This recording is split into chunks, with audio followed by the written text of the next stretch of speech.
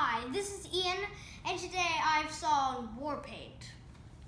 Now, war, first of all, before the show, I got this nasty burn, so it wasn't really my day.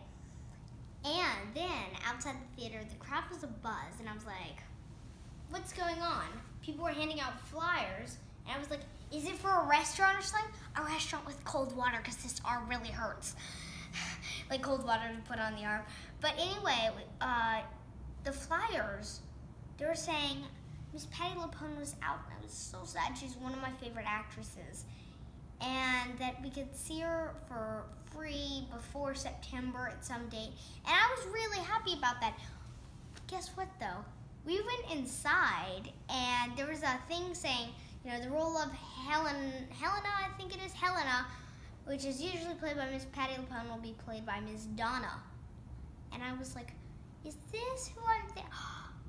Miss Donna is one of the founders of Signature Theater, and she's a really good friend. She's my friend, and she took a crowd of people who were sad they didn't, they weren't seeing Patti LuPone, and walking out the theater, everyone was like, "Oh my goodness, that woman has such a good voice. How does Miss Donna do it? She's so good." And and it was just everything she does is, beautiful. I'm just saying, Miss Donna. But also, they say there's a doctor, doctor theater. They say theater makes you feel better, and it isn't like a doctor, like it doesn't hurt or anything. You just by hear, hearing beautiful voices and seeing beautiful costumes and beautiful sets and stuff, and the magic of it, just something happens. And you know what?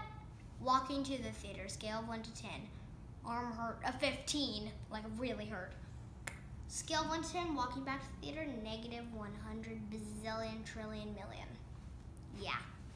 It, it was so, Dr. Theater really fixed me and he wasn't like, here's a shot. He was like, listen to these beautiful voices. Now, I, I know you're dying to hear the story. I'm gonna stop my small chat, my small talk. Now, um, the story of it was there are two ladies who are makeup rivals. They make like face creams and stuff and skincare stuff, and they're rivals. And but they also do make some, you know, lipstick and stuff and mascara. But anyway, in real life they never meet because this is based on a true story. But they one has very beautiful, elegant bottles. So beautiful. Oh my goodness, the bottles are so amazing. But the cream inside, not very scientifically based, not very, like the ingredients, mwah, mwah, mwah. And then there's one woman who has not so beautiful bottles, like sort of black and white bottles, just throw it in. But then the cream really works. It's scientifically based. She's basically, she is a scientist. She makes these scientific creams that really work and they don't use any gross stuff. They're just like really good working scientific creams and they're rivals, but if only they could have just stick together and made because with those beautiful bottles and that amazing, amazing spot on skincare, they could have ruled the world. And they were very strong women. And I just I just loved everything about it.